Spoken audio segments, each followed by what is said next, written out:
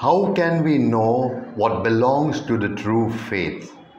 Church official teaching, Youcat question 12.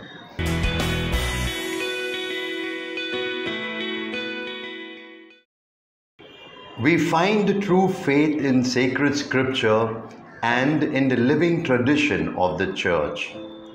The New Testament developed out of the faith of the church. Scripture and tradition belong together. Handing on the faith does not occur primarily through documents. In the early church, it was said that the sacred scriptures was written on the heart of the church rather than on a parchment.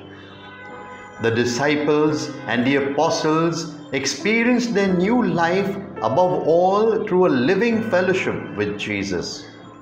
The early church invited people into this fellowship, which continued in a different way after the resurrection. The first Christians held fast to the apostles' teaching and fellowship, and to the breaking of bread and to the prayer. They were united with one another and yet had room for others. This is part of our faith to do this.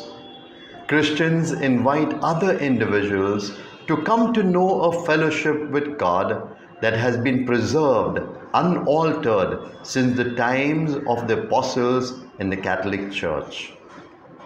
Pope Benedict, the happiness you are seeking, the happiness you have a right to enjoy, has a name and a face. It is Jesus of Nazareth.